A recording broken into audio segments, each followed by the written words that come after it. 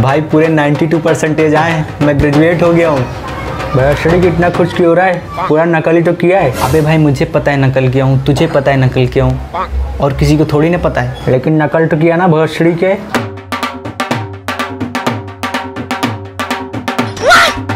गजेंद्र बेटा, नकली नोट है वो। क्या हुआ, अंकल? ये ढोल नगाड़ी क्यों बजा रहे हो? हमारा लड़का ग्रेजुएट हो गया है सौ में से 99 परसेंटेज आए हैं। तो हमारी गांड क्यों जला रहे हो? मज़ा आता है बेटा। ये लो बेटा मिठाई खा लो।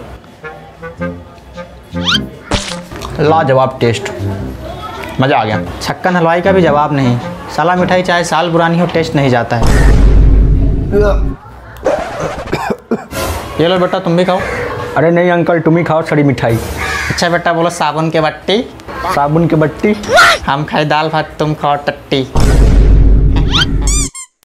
अंकल बोलो भूत। भूत। आपकी मार्केट की